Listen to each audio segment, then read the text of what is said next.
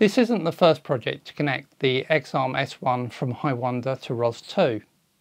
I'm taking a slightly different strategy though, using a Raspberry Pi Pico and MicroROS to locally manage the X-Arm.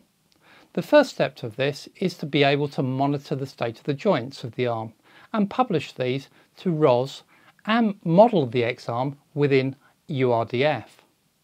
Hi, I'm Jon, your concierge to the world of the Raspberry Pi Pico robotics, IoT and other fun tech.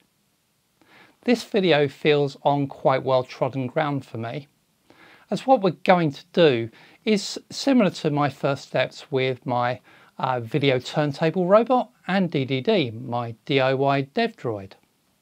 Creating a model of the robot within ROS2 and mapping joint movement to that robot.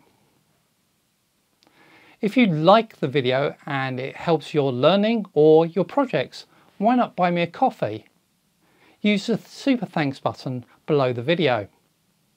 And please do hit the like button on the video and subscribe for more.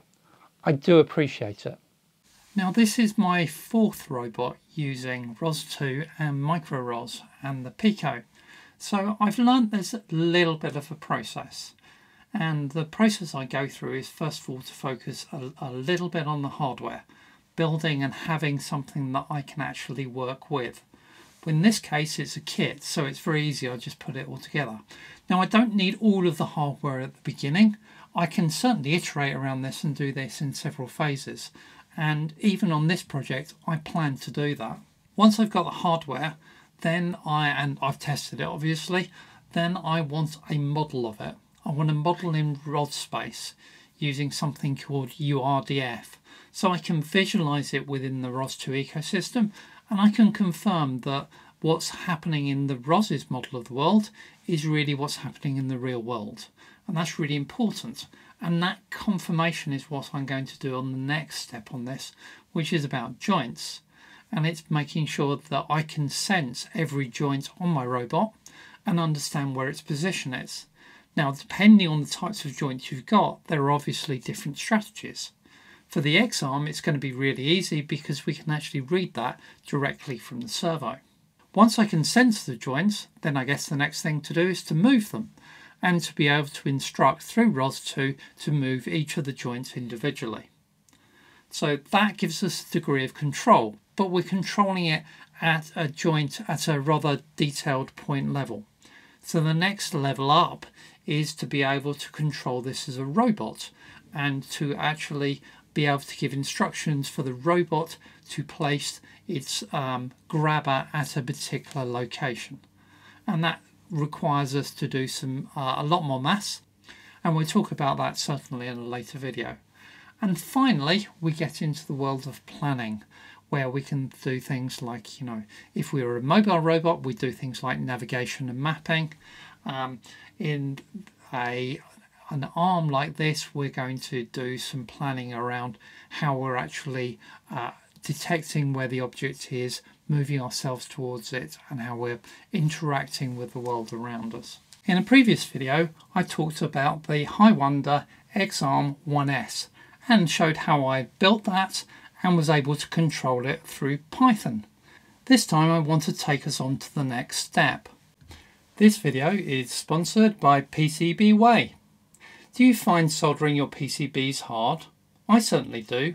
So why not use PCBWay to not only fabricate your PCBs, but assemble them too? PCBWay strive to be the most professional PCB manufacturer for prototyping and low volume production work in the world, which makes them a go-to place for makers like me to help me fabricate and assemble my low volume PCBs in their own in-house production services. PCBWay have lots of options for PCB types and coatings, along with instant quotation through their website for most services. They can help with project hardware too, through 3D printing, CNC machining, sheet metal work, or injection moulding. Get some inspiration from their community project site or buy some ready-made modules from the module store. Go take another look at PCBWay today. In the last video I connected the X-Arm directly to my laptop using a USB cable and it was using a particular USB protocol that it's set up. It isn't serial over USB as far as I can see. It is actually a particular HID setup for the X-Arm and that makes it a little bit more complicated for me to work on and use from a Pico. Um, you, I'd have to put the Pico into host mode on USB etc. Um, and actually I want to use the USB on the Pico to connect into a Raspberry Pi for ROS2 communication. The alternative is to use the serial port on the X-Arm and that gives us a nice connection and there we've got ground, transmit, receive and 5 volts. The one thing about that connection though is that it is 5 volt logic. So remember our Pico is 3.3 volts logic lines. So actually you can't just connect the UART connect, uh, cables or UART ports coming out of iPico to the X-Arm. I need to actually do a conversion and take it up to 5 volts. And so I'm using a logic level converter to do that, um, which seems to work very well. I've done a short video talking about logic level conversion before, so you can go and have a look at that if you need a bit of a reviser about how that all works we've got UART going out to our robot, and that's going through that logic level shifter to give us control over the X-arm. And then over the uh, USB port, I'm going to talk microROS into the ROS2 ecosystem via a Raspberry Pi 4. And that's basically standard I.O. over USB. Now I've cheated and used the ability that the SDK gives me to give me two standard IOs because I'm going to use another one over UART 0 and that's going to give me telemetry so I can see uh, some debug information on the screen of what's going on. So that's quite a bit of communication coming out of our Pico. I've talked before about how to set up micro microROS and in fact I've got an entire playlist of videos talking about micro microROS and how that works. So go to have a look at those videos. They give you a lot more of the background that I'm not going to go into in this one. Let's talk about the model and how we've got a model within ROS2 to actually show how our um, X-arm is going to move. All my code for this I will put onto GitHub in the repository RPI Pico X-arm.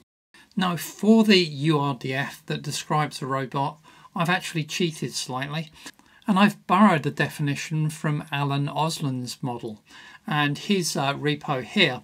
He's taken a rather different strategy uh, to uh, ROS2 and working with the X-arm but his model of the in URDF of the X-arm is excellent and so I've uh, taken the liberty of using the MIT license to borrow that.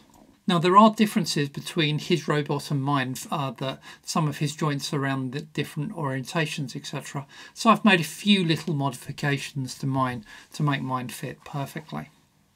And then I've got two launch files in my environment which are going to launch up RViz on ROS2 to actually visualize this robot. Now I use two examples like this for a really good reason. Um, I want to actually first of all play with this model and make sure it works.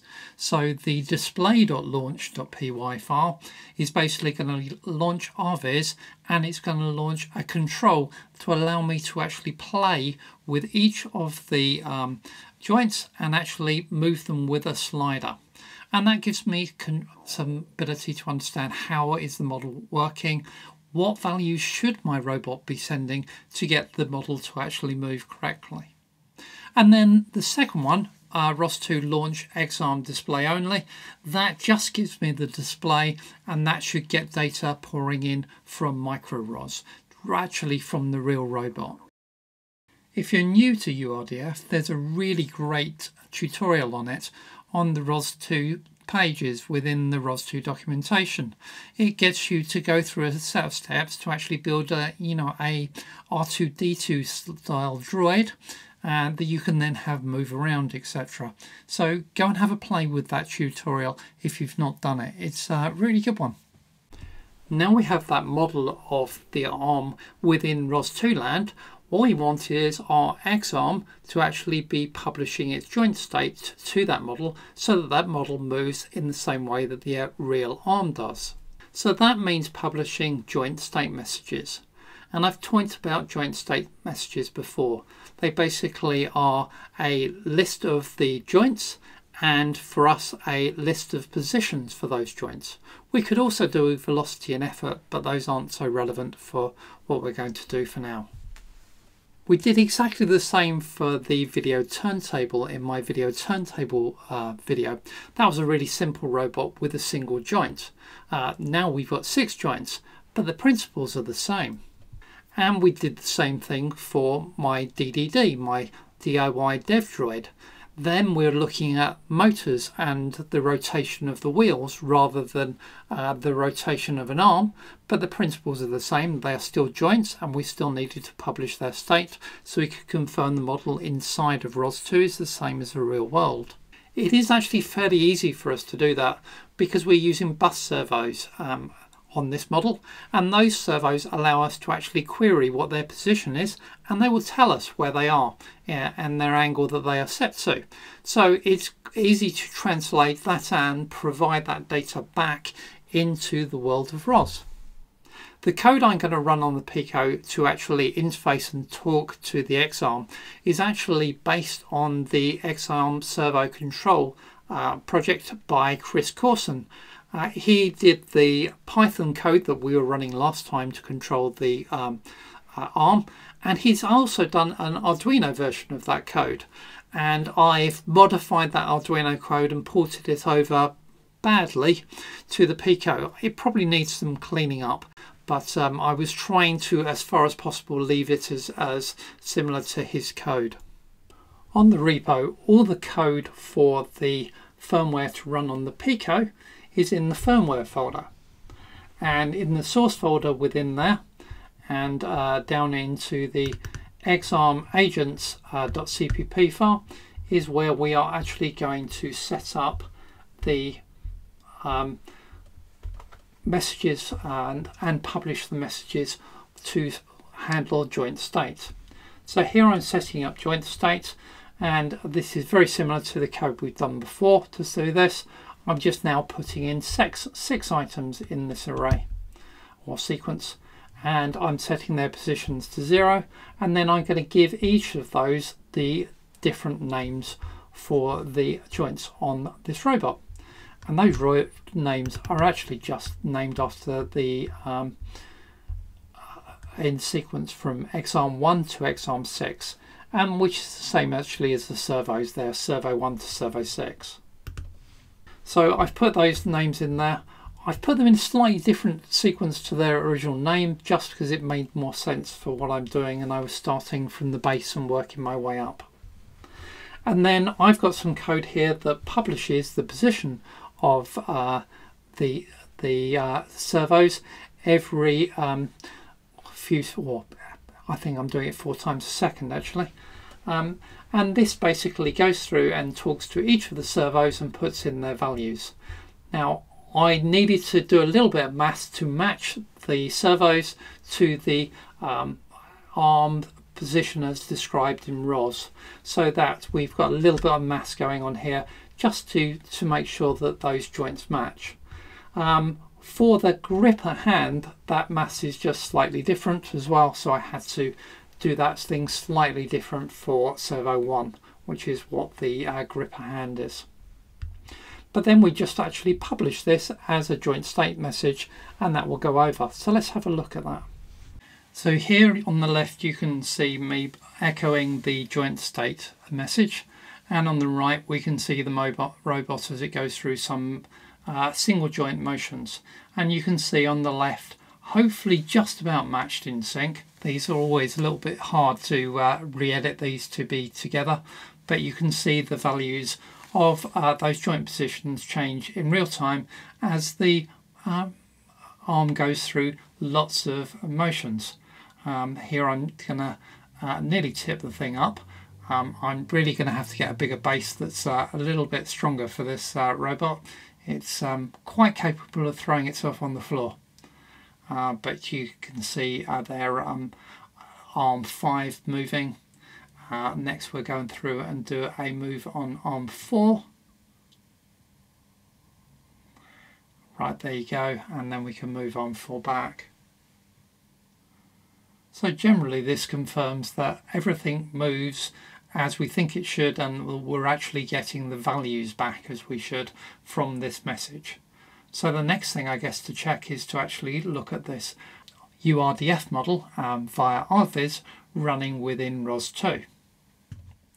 So I'm patching together um, the live video feed, the screen recording, actually the screen recording of two sessions so that I can try and give you two views of the robot, one um, on the side and one at the front.